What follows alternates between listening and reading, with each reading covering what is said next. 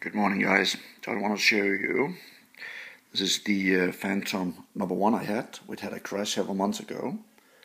And as you can see, one of the things that happened was it landed on the arm here and the shell got bent. Also, the uh, print here broke, so and the engine here sounds very, very bad. So I did order some spare parts uh, a brand new shell, just arrived yesterday.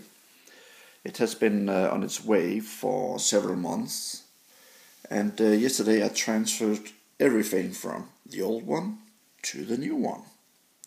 So that's very nice. Still missing one red print up here and uh, one engine, but that should be on its way as well.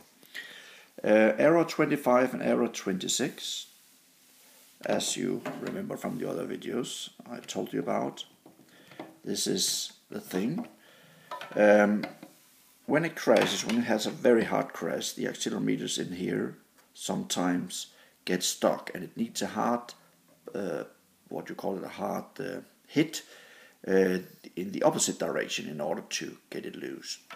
I have done this actually uh, three times now um, and it helped.